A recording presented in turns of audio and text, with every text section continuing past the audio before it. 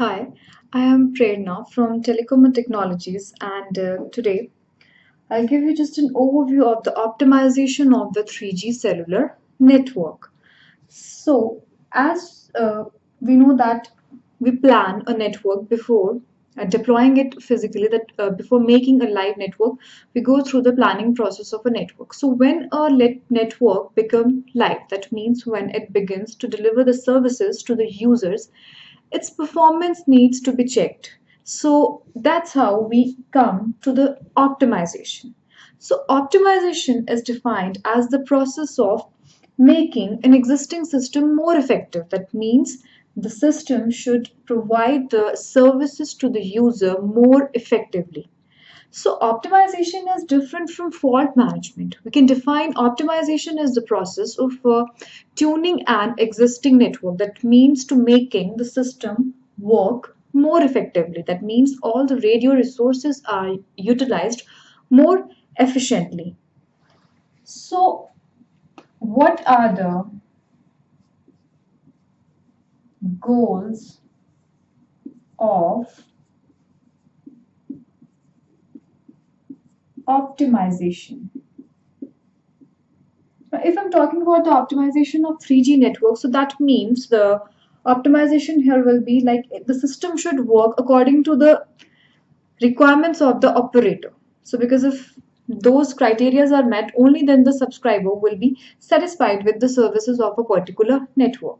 So when we talk about the goals of the optimization, so that means the system should work according to the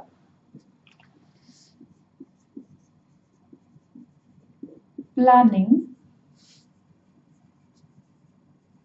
assumptions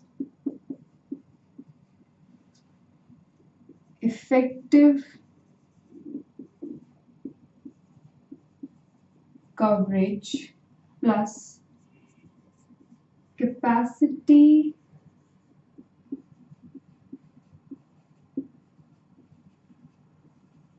requirements should be. Now we need to optimize the network because there could be some planning uh, deviations from the planning assumptions. There could be change in the behavior of the subscriber or there could be change in the behavior of the environment. For example, if we have deployed a site in the particular year, so after one year or two year, the surrounding conditions may not be same. There could be more obstructions, building strain, so that could uh, affect the performance of a system. So if you're not optimizing our network, we're not uh, keeping a check on the performance of a network, the system will uh, result into a degraded system. Because if a particular network is not uh, optimized, the users in that area will suffer from blocked calls, dropped calls, and smaller RF coverage. So if a user is uh, facing such kind of problems, so definitely he will not uh, use the services of that particular network. He will try to migrate to some another network. So that will cause a loss of revenue to a particular network operators. So that's why it's important to optimize a network so we can have a check on the performance of a network that how well it is performing and how efficiently it is delivering the services to its users.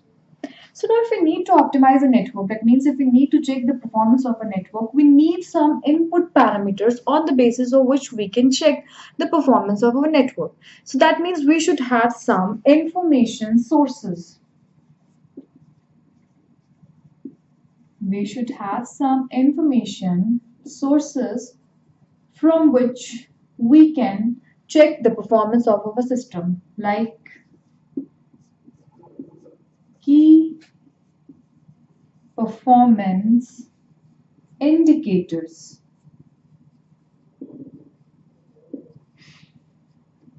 After that, we have regular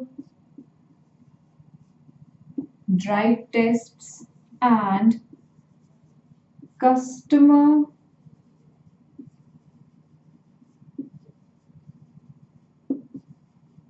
complaints. Now, the customer complaints are the complaints which are made by us, by the users, uh, if our network is not working properly. For example, if you are uh, going through or you are uh, having a number of dropped calls in a service area, so that could be used as an investigation tool to find out that what could be the problem in that particular service area. That means there could be some RF coverage related issue or it could be a neighbor cell uh, issue which is leading to a number of dropped calls. So customer complaints also uh, serves as an important input parameter to check the performance of a network because ultimately the customer satisfaction is the goal of the network operators or the service providers. Now after that we have this drive test. So drive tests are basically done to check the coverage of a particular area that means to check the performance of a particular area that how that particular network is uh, working in that service domain. So it can uh, check the various parameters like the successful calls the number of dropped calls the handoff calls the rf coverage. So regularly these drive tests are performed in order to keep a check on the performance of the system Last one, we have the key performance indicators. Now, these key performance indicators serves as the best information tool or information source for performing the optimization of a network. So, we will uh, have a overview of these key performance indicators that what are these and what are the various parameters on the basis of which the network optimizers try to tune the existing network. Now, if we look at the optimization phase of a network, we know that uh, we have a network design before optimization, then we have to do the planning of the network and after that we have the implementation of that network. So after that, uh, basically, we're checking that acceptance criteria are met or not. So that means we are checking here the acceptance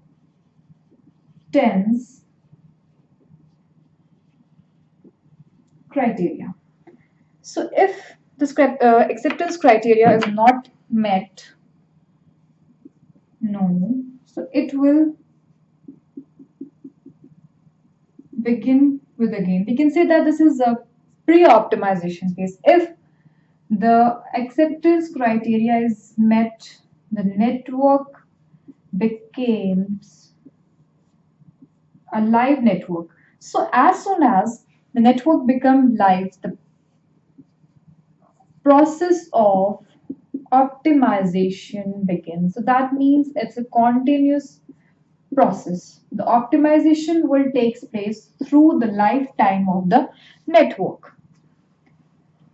So now we will discuss that what are the indicators or performance measures on the basis of which we can optimize our network or we can check the performance of a network and then we can have the respective solutions to those particular issues. So we will discuss here about the key performance indicators.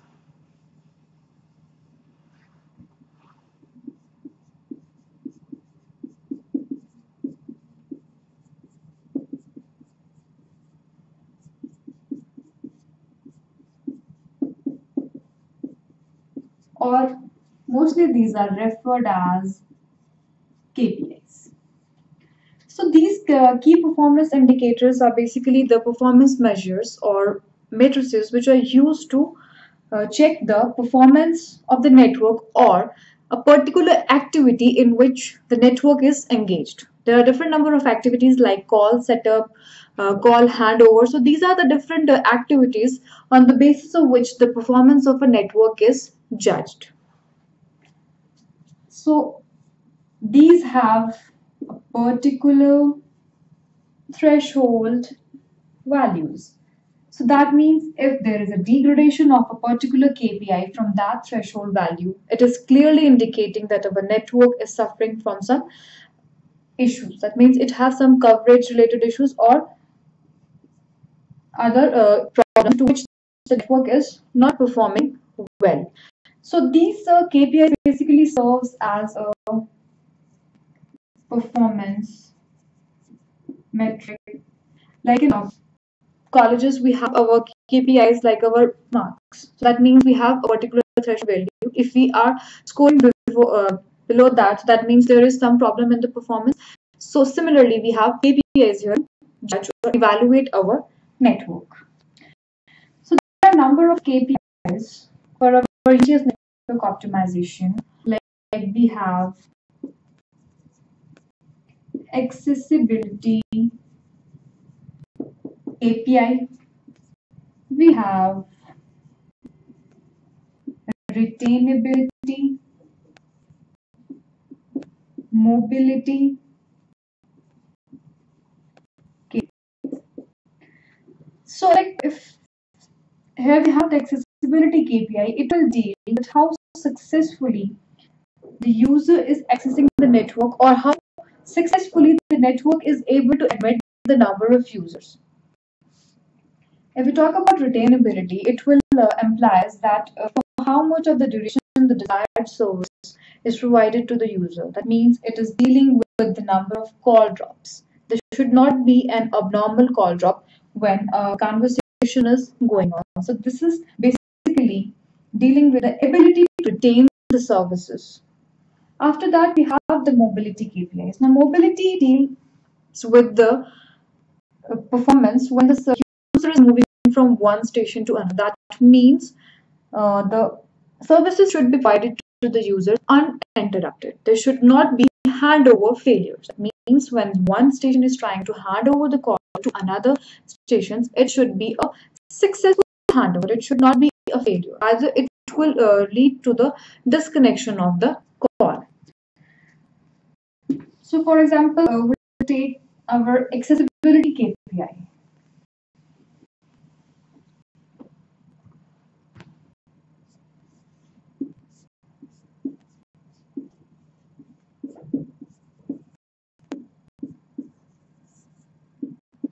So as I mentioned earlier that this accessibility KPI basically tells about the access, how successfully we're accessing the network or it basically uh, tells the performance of the UT run or our RNCs, how efficiently it can admit the number of users to a premises or we can say the network.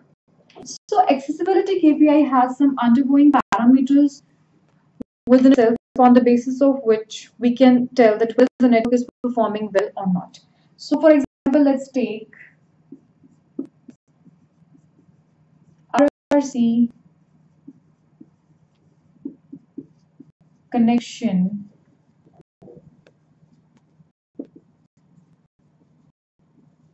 establishment. Now this RRC refers to radio resource control. This RRC is basically the UMTS protocol or 3 protocol which is uh, mainly designed for the signaling and control related information which should be exchanged between the two entities like our user equipment and the RNC which is a radio network controller. So that means before starting the actual conversation or before uh, starting the transportation of our data or voice, first of all we have to establish a path between two entities. If we have this user equipment,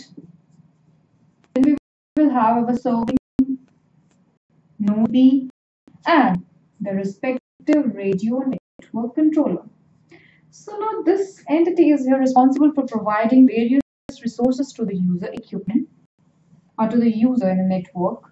So that means for all, this is making a request whether the resources are available or not. So that means the request which uh, the user equipment is forwarding is the RRC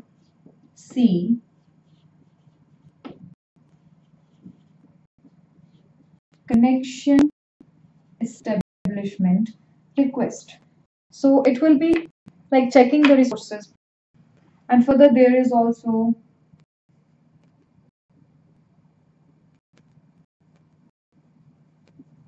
RIUB set up between these two entities. So if the resources are available, that means the radio network controller is able to handle this user. It can provide the services. So it will send an RRC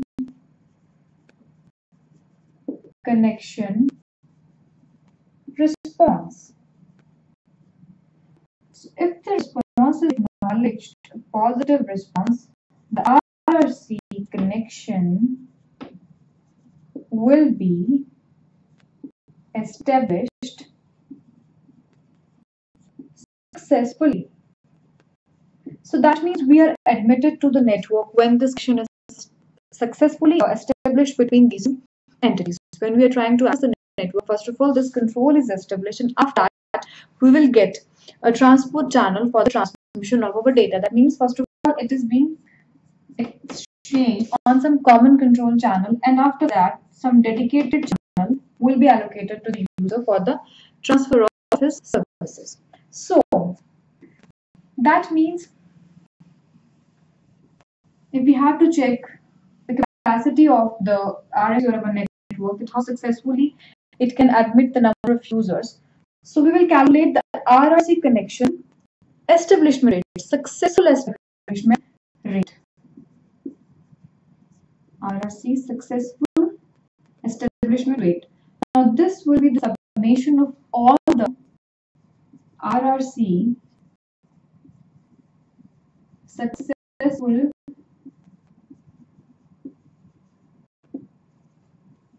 connections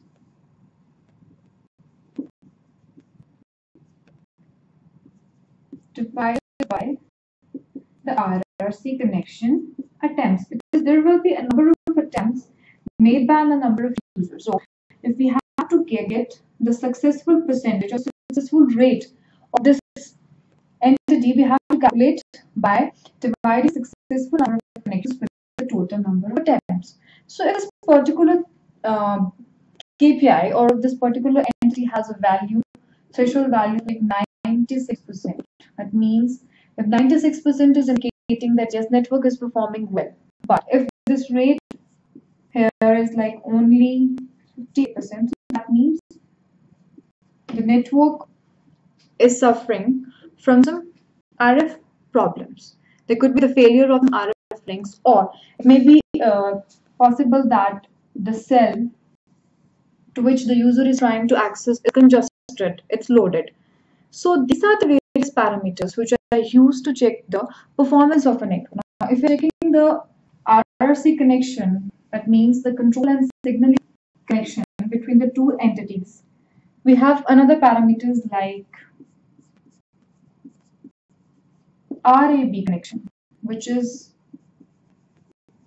radio access bearer.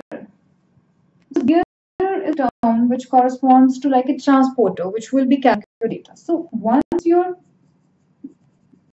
RRC is established successfully, after that there will be the establishment of your radio access bearer. So we have the same entities user node B RNC and the core network. So if RRC procedure is successful, after that there will be an RAB assignment request from the core network. So from RNC UE, there will be a RRC bearer establishment. Now, if this bearer is established successfully, so there will be an RAB assignment response and this connection uh, will be established successfully. So we calculate success rate for this parameter of like the total number of RAB successful connections divided by the total number of attempts made for that particular connection. So these are the various parameters which will be uh, telling us about the accessibility of the network, how well it is uh, providing the services to the user who's trying to access the services. If we talk about retainability, that means for what kind of duration, what amount of duration the user can access the services. That means there should not be an abnormal release of the call. There should be low call drops in our system. So if we talk about our mobility so we'll talk about the handovers, that there should be successful handovers. If the handovers are not successful, that means there is a problem between the two particular uh, stations. So that's why the new station is not able to uh, entertain the uh, particular. If you're trying to move from one station to another, if that new station is also overburdened, so it will not process our request and the call will ultimately drop. So these are various uh, performance indicators and with the respective thresholds on the which we can check that whether our network is performing well or not. So this is all for the overview of this optimization of 3G networks. Thank you.